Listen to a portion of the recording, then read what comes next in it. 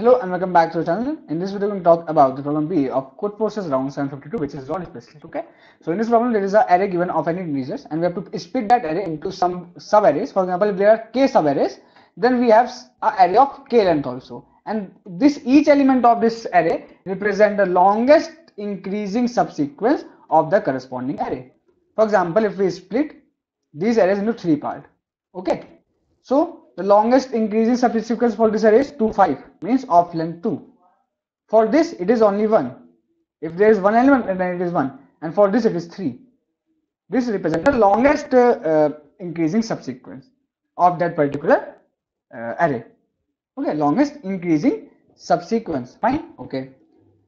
Now, uh, and what is subsequence? The subsequence is it is not sub array, it is subsequence basically it is subsequent for example here is 2 3 and 4 that is why there is the 3 okay fine okay basically you have to you have to check that whether it is possible to divide this array into such uh, such sub arrays of uh, such k sub arrays such there the bitwise XOR of their array of uh, longest increasing sequence means h1 h2 h up to hk is equal to 0 if it is possible or not ऐसा हो सकता है नहीं हो सकता है सो so, अगर आप एक चीज़ देखें let me move towards the white board सो अगर हम लोग एक चीज देखें that the N if N is even if n is even so in this case for example n is even n has n is equal to 8 for example so we can just divide these eight elements for example there are some eight elements in this array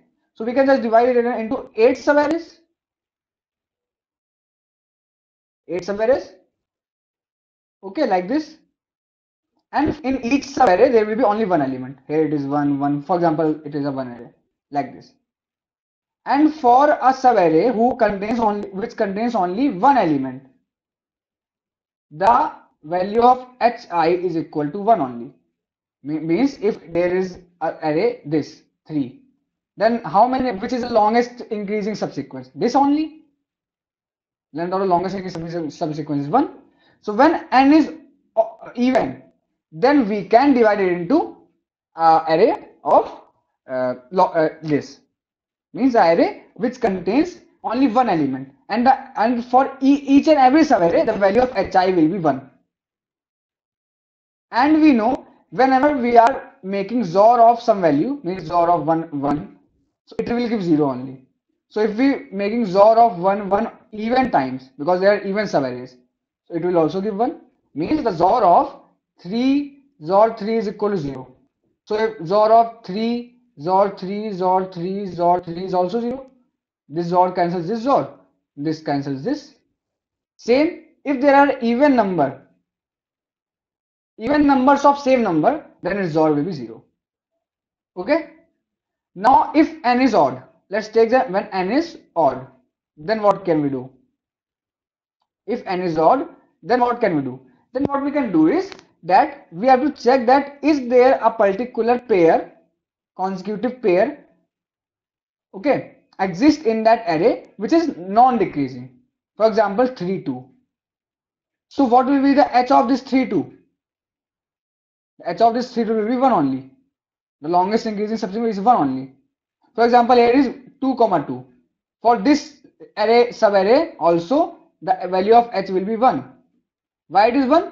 Because the longest increasing subsequence is 1 only. There is no longer sub, sub uh, increasing subsequence.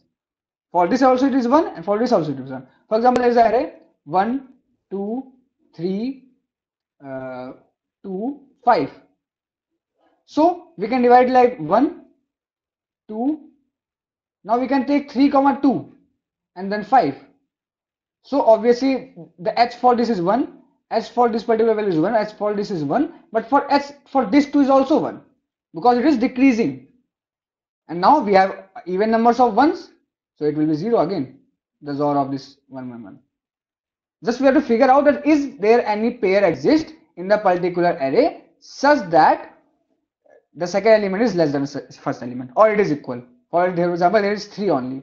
So here it is 3 then also the value of h will be 1 like this so you have to just check this only okay so let's move towards the code part So what I have done is code, you can check.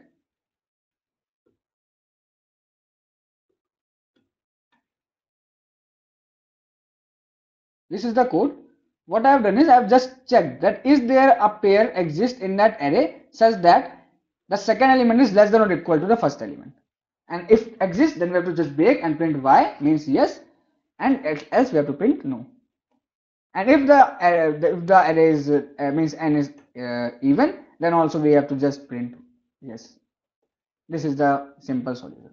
So if you have any doubt, you can ask it in the comment section, or you can DM uh, me through WhatsApp or Telegram. You can also subscribe channel for computer. Thank you much the video. Please share it with your friends. Thank you.